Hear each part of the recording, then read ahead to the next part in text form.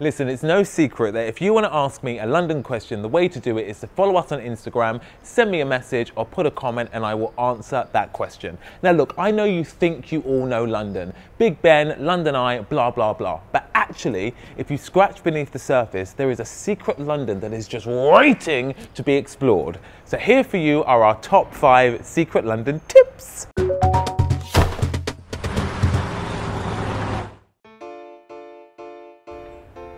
Now, I know that many of you are excited and love to learn more about London tube stations. And of course, some tube stations are still in use, but there are some that have been abandoned.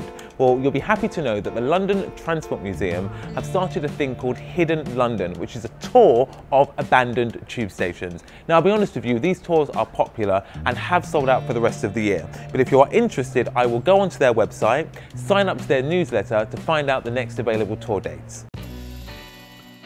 London has some amazing parks and green spaces that are known worldwide. A lot of these are vast areas that actually you need sometimes when dealing with the busyness of London. But there are some smaller parks and gardens that I definitely think are worth checking out. Two of my favourites are the Phoenix Gardens in Covent Garden and the SOAS Japanese Roof Garden in Russell Square. There are also some other favourites of mine on the screen now. I definitely think it's worth checking these out. The Breakfast Club is one of London's most notorious brunch venues and when you are there you may feel like you are cooler than cool but actually there is more to explore. If you are at the Breakfast Club near Liverpool Street between these times I would tap a member of staff on the shoulder and tell them that you are here to see the mayor of Scaredy Cat Town. They will then take you for a hidden door to a secret speakeasy that has amazing cocktails and even more amazing bar snacks. London is an amazing city with lots to offer on the entertainment front, but some is more secret than others. Something I would check out definitely is Secret Cinema. Basically what they do is they choose a film and they turn it into an immersive experience. I recently went to their Moulin Rouge, just like this. Yes, that is me. There's also the Secret Comedy Club.